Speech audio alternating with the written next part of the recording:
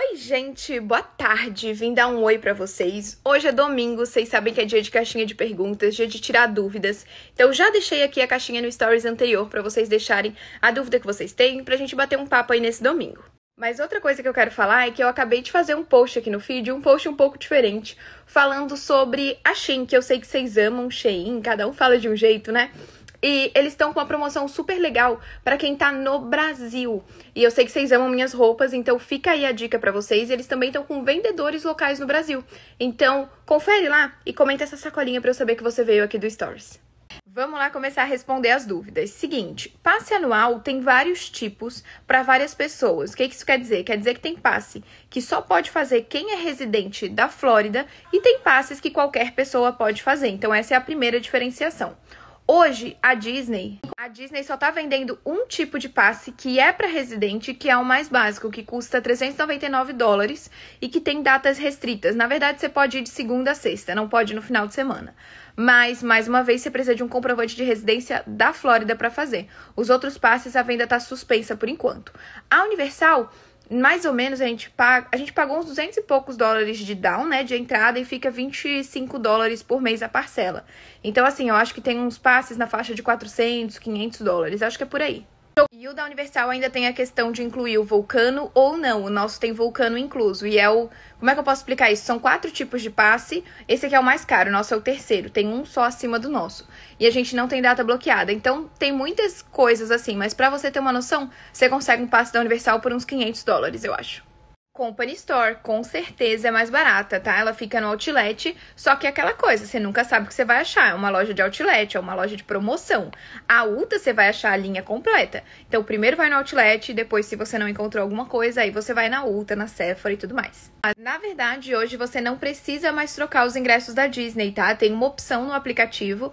É, o aplicativo é o My Disney Experience e lá dentro tem o Magic Mobile. Você consegue vincular o seu ingresso com a carteira digital do seu celular e daí você vai passar o ingresso por aproximação. Hoje não tem mais necessidade de fazer a troca do ingresso.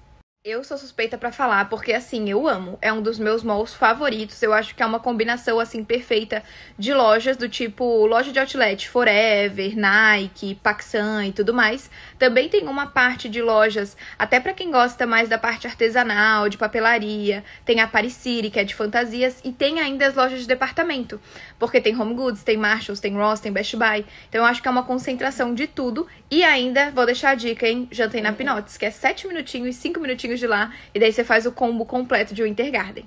Gente, deixa eu dar uma pausa aqui nas perguntas e falar uma coisa para vocês. Eu e o Gu, a gente sempre se reveza aqui tentando responder os directs. Infelizmente não dá para responder tudo, mas eu tô vendo que tem muita gente agora que tá mandando mensagem do tipo assim: Posso te fazer uma pergunta? Posso te perguntar uma coisa? E daí eu vou responder assim: ah, pode falar. Ou alguma coisa desse sentido. E eu vou continuar respondendo outras perguntas. Depois, para eu achar a sua mensagem, gente, você já se perdeu nesse novo bolo. Então, assim, se você quer perguntar alguma coisa, já faz a sua pergunta direto. Que daí, assim que possível, né, se a gente conseguir, a gente vai responder vocês. Porque passar por duas etapas é difícil, viu? Olha, deixa eu explicar para vocês essa questão sobre o iPhone. Pode ser que você consiga, mas não tem como ter certeza. Por quê? Porque você não sabe se no dia que você vai, vai chegar a reposição do iPhone que você quer. E assim, além disso, tem muita gente também que faz essa questão de ir pra fila e tudo mais. E pode ser que chegue cinco iPhones e você só vai saber na hora que abrir de fato a loja. Então, as cinco primeiras pessoas da fila que vão conseguir comprar. Então, são várias variantes que eu mais recomendo e o que eu faria é ficar olhando no site da Apple realmente. Fica ali atualizando o tempo todo, vê quando abre disponibilidade, em qual loja abriu disponibilidade, compra assim que der e marca para retirar. Eu acho mais prático do que todo dia de madrugada para shopping.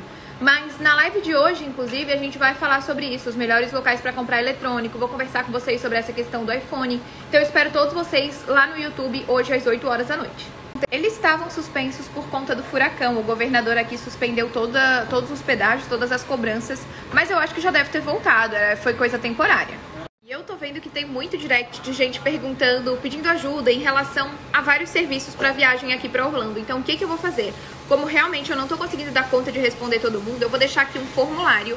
E daí você vai colocar, gente, os serviços que você tá precisando. Pode ser chip de celular, ingresso, carro, hospedagem, o que for. E daí eu vou entrar em contato e passar para vocês aonde vocês vão fazer o orçamento com desconto especial. Então, qualquer serviço que você estiver precisando, é só preencher aqui nesse formulário. Gente, passando aqui para falar que eu tô entrando agora ao vivo lá no YouTube pra gente falar sobre compra de eletrônico aqui nos Estados Unidos, inclusive sobre iPhone. Então, ó, espero todos vocês na live começando agora. É só clicar aqui no link.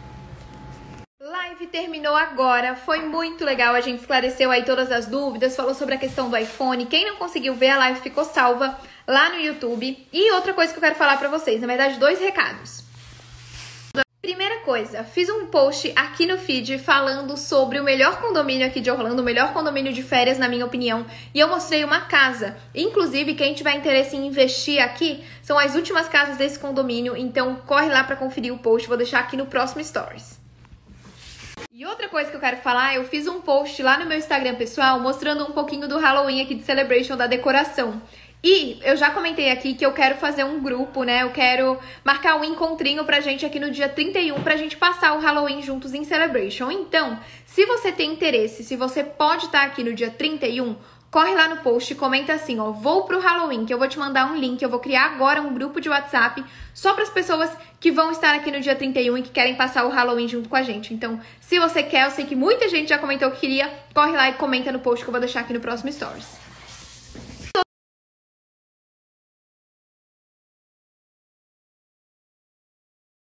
Olha, vou ser bem sincera com vocês. Eu não vi absolutamente nada. Um dia depois, é, o furacão passou aqui de quarta para quinta. Na sexta-feira eu fui pro Mad Kingdom e eu não vi nada. Eu sei que tem algumas regiões realmente que tiveram enchentes aqui em Orlando e tudo mais que ficaram alagadas, mas na região assim dos parques e tudo mais, tudo tá normal.